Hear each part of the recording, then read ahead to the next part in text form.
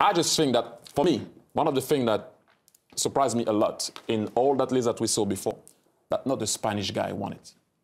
They dominated world football for six years and at the club level.